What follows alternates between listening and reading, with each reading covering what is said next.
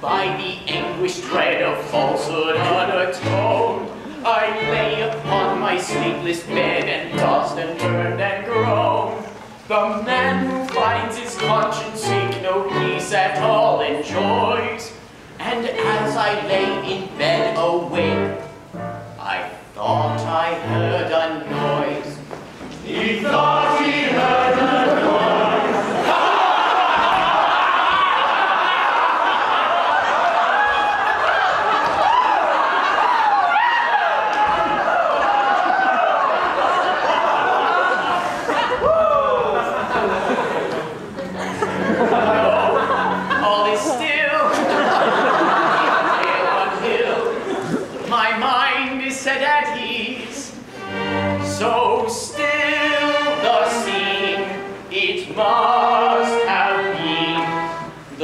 Ah.